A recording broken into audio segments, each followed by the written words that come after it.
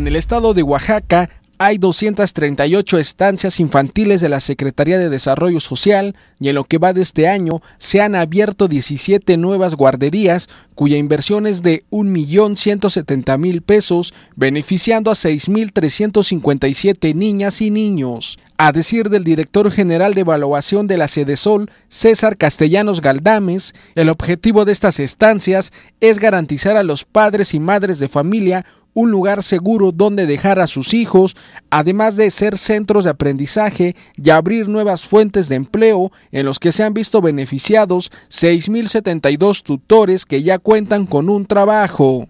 En sus manos estamos poniendo, todos los padres y madres estamos poniendo el futuro de nuestros hijos. Por eso cuando lleguen los compañeros a hacer la supervisión de seguimiento, debemos de estar muy atentos a las recomendaciones que nos estén dando, ¿sí? a esas recomendaciones que no es por, eh, perdón por la expresión, pero andar fregando, ¿sí? es simple y sencillamente porque lo que tienen al cuidado es lo más importante que nosotros tenemos.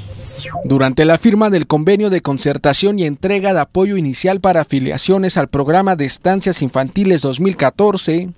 así como la entrega de apoyo para los programas internos de protección civil y pólizas de seguro de responsabilidad civil y daños a terceros, el delegado federal de la Secretaría de Desarrollo Social, José Antonio Aguilar, aseguró que uno de los compromisos del gobierno federal es garantizar la seguridad de las niñas y niños para evitar tragedias como la guardería ABC. Reconocer la tenacidad de quienes proponen abrir una estancia infantil